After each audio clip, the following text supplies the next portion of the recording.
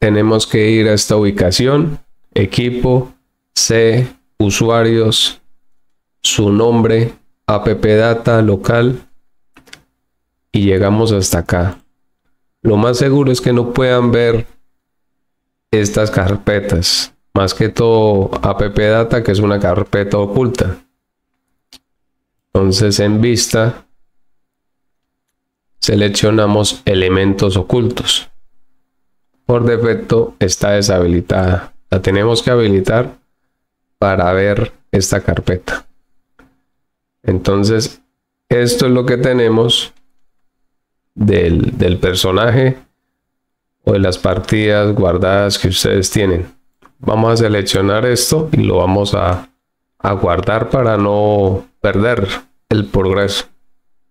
Voy a crear una carpeta acá y lo arrastro. Ahora vamos a descargar el mod. Tenemos diferentes mods. Este está al 100%. Tenemos todas las armas, todos los atributos al 100.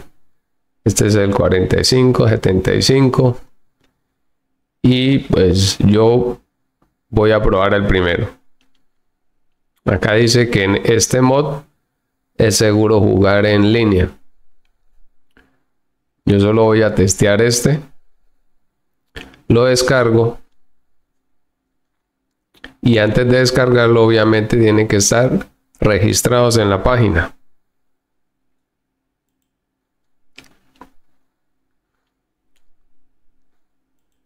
Descargamos lento. Voy a descomprimir el archivo. Elimino el archivo comprimido Ahora, seleccionamos nuestra partida o todo el progreso que tenemos, lo copiamos y lo pegamos encima del mod.